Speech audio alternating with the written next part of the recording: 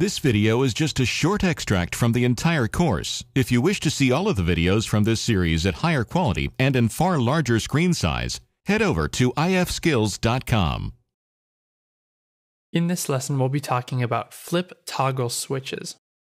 These are, I think, my favorite jQuery mobile object.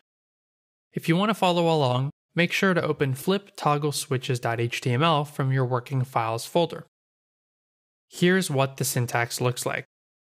We have a select, and we set its data role equal to slider. And inside of this select, we put different options.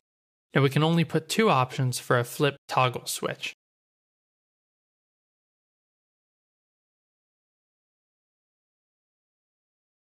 So there's our markup. If I go over here and I refresh, you can see that we have a nice toggle switch. The reason this is my favorite is I love watching it slide back and forth. It's just a very, very cool rendering effect. So let's talk about our different options. First off, this is the value that will be selected in this select.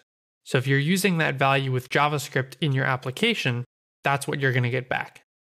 And then, of course, this is the text that displays inside of our element here.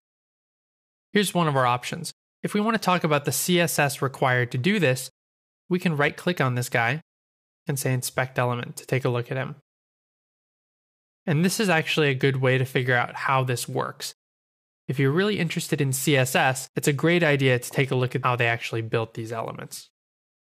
Now, what we may want to do is make this slider perhaps a bit longer. So the entire slider is this guy right here. Now you may notice jQuery Mobile hides the actual select item and creates all of these divs and spans to represent the actual element. In this way, the user may not actually be interacting directly with the object, but ultimately it doesn't really matter too much. So here's our object, and you can see it has a width of 5em. Now if we change this, you'll notice that the object gets longer. So there it is. Now, if we want to change the object using our CSS, this is how we do it. Up here at the top, I'm going to make a style tag. And we're going to put a rule in here. You can say dot UI slider switch width, and you can specify a width.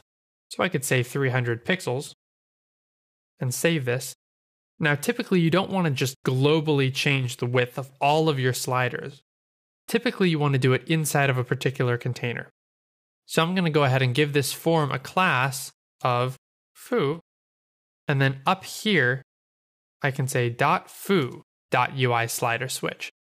Now I'm only talking about slider switches within that form called foo, or any other form that has a class of foo. And now if I refresh, Sure enough, we have a nice wide element. And that's pretty cool. Now you can always modify the HTML of any of these elements however you would like to. Just make sure you understand how they're rendering what they're rendering before you go changing it. You don't want to have unintended consequences somewhere else in your application. So that concludes this movie about flip toggle switches.